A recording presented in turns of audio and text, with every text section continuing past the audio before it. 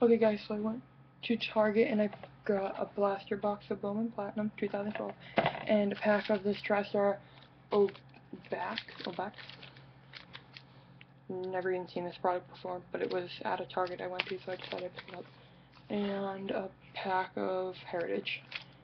So, um, that, this stuff, I didn't get anything out of at all. And the Heritage, the insert cards I got was Velez finishes off for Texas, Friendly Foes, and Derek Jeter New Age Performances. That one's decent.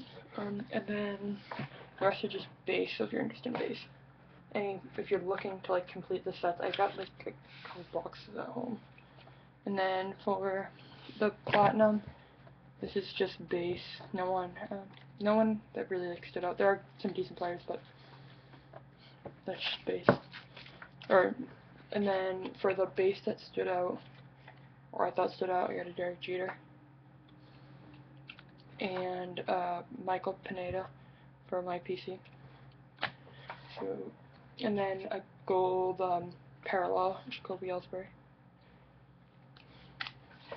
And a green or emerald parallel Jerry Parker rookie card.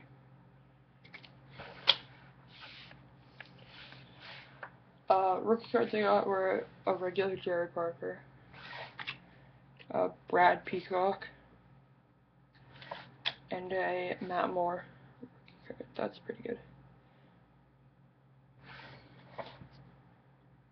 Mail. Then for prospects, got Wily Peralta, a Starling Marte, a Garin Cecchini, uh, Billy Hamilton. And these are refractors, I think.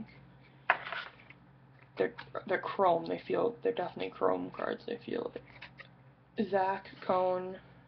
I think that's a refractor. I'm not sure. A Cory Spangenberg, the same thing. And a Sean Buckley. I think this is an X Factor. X-Fractor.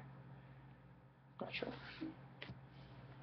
Um, then I got a top prospect, Billy Hamilton.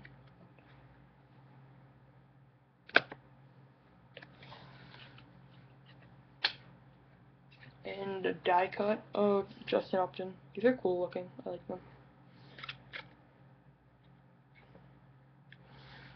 And what I wasn't expecting at all is I pulled an autograph. It isn't a great autograph, but it's an autograph in a retail box, so it's not numbered anything. Bryan Brickhouse.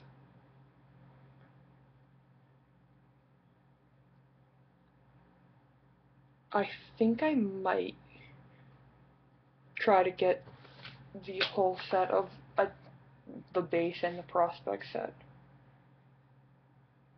Maybe the auto set. But I'm not sure.